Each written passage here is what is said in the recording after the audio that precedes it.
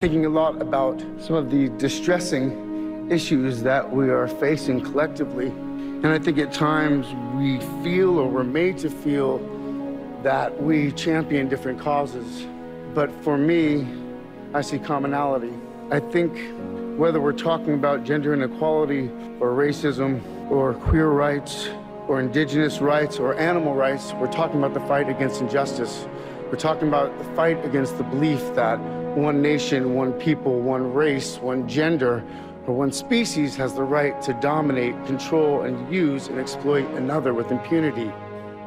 I think that we've become very disconnected from the natural world, and many of us, what we're guilty of is an egocentric worldview, the belief that we're the center of the universe. We go into the natural world and we plunder it for its resources. We fear the idea of personal change because we think that we have to sacrifice something to give something up. But human beings at our best are so inventive and creative and ingenious.